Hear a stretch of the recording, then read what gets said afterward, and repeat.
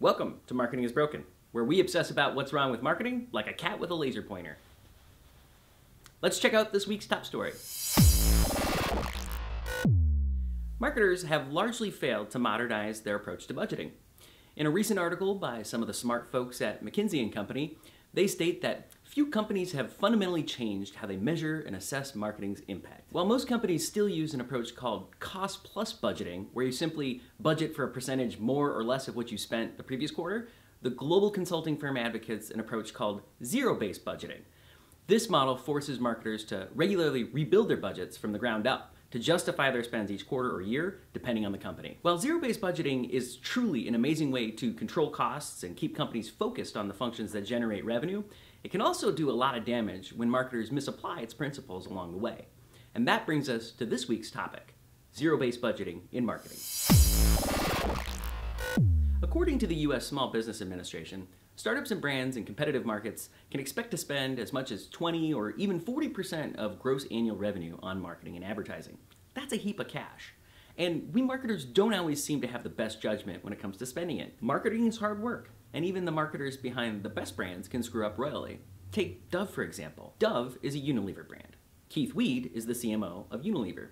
He's generally considered to be one of the top minds in marketing, due in part simply to the sheer amount of money he spends selling all that soap. But even Keith's team makes mistakes. Dove is best remembered for their Real Beauty campaign from the early 2000 aughts, and they're often touted as one of the, the best champions for empowering women of all shapes and sizes through their advertising.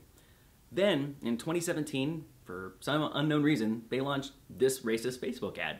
Just imagine, someone had to concept that ad, someone had to shoot it, Someone approved it and gave it to another person who then and went and put it on Facebook. And then they spent even more of poor Keith Weed's hard earned money to make sure that a bunch of women saw it and got upset. With a high stakes job that can often make or break companies, it's no wonder why the CMO is the C suite executive with the lowest average tenure among the nation's top companies. And it's also no wonder why CEOs are enforcing the change to zero based budgeting. Leadership wants to see that our marketing strategies are directly tied to the overall company strategies, which represents a huge opportunity. And that's where you can help fix marketing. While some marketers are fumbling with zero based budgeting, and even more are still resisting it altogether, what should future thinking marketers do to embrace this trend and use it to their advantage? For that, we turn to another global consulting leader, Accenture. They claim that they have mastered the 50 year old concept of zero based budgeting with their ZBX management model, which, base, which is based on a few important principles. First, Accenture says to be who you aspire to be. Build your marketing budgets based on your company's strategy.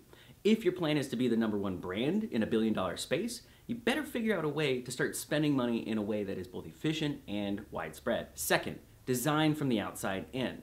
Each project you choose to fund should be in the name of improving a specific aspect of the brand experience for the customer. Avoid tactics that aren't informed by voice of customer, and I always think of marketing as a way to foster the refinement of what your brand actually does for consumers. Third, build it so they come.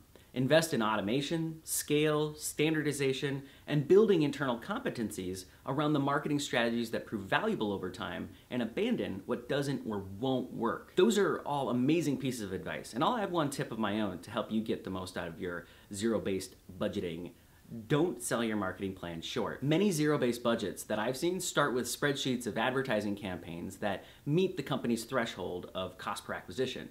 A three to one customer lifetime value to acquisition cost ratio, or three to one LTV to CAC, for example, is very popular in the startup culture.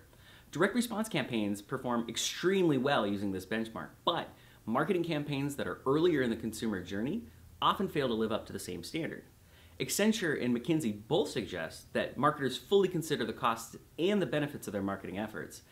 As a marketer, this means evaluating campaigns at a level that includes both the cost it takes to build awareness among an audience and the cost it takes to create that direct response. You can't justify ad spend based on the campaigns that drive direct conversions alone. Get these zero based budgeting principles for marketing right, and you'll get the reputation for being a good steward of the company's budget and a marketing leader more than worthy of your shorter than average C suite tenure. And that's how you can fix marketing. We'll see you next time. Thanks for watching Marketing is Broken, brought to you by Brandish Insights, the world's first brand analytics platform. We're like Google Analytics for brands. Catch this weekly show by subscribing to our YouTube channel or by visiting brandishinsights.com to learn more.